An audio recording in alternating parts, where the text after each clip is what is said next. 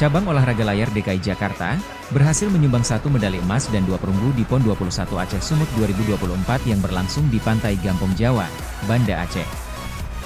Emas diraih oleh Afriza Ahmad Bagaskara di nomor pertandingan Tekno 293. Sedangkan, dua medali perunggu melalui Adesta Raya Ramdhani di nomor pertandingan IQ Foil dan Rasya Aditya Wardana di nomor ILC 4. Sementara, pelatih utama selancar angin DKI, Ujang Supriyatna mengatakan, puas dengan hasil pertandingan yang dijalani anak asuhnya.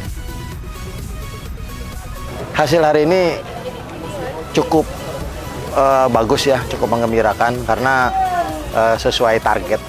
Karena saya menargetkan tuh satu medali emas dari tujuh nomor yang dipertandingkan untuk cabur selancar angin.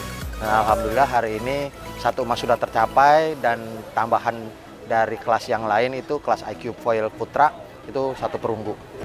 Sementara, Afriza Ahmad Bagaskara yang masih duduk di kelas 9 itu tidak bisa menyembunyikan rasa gembira setelah memastikan medali emas untuk DKI Jakarta. Lumayan bagus sih.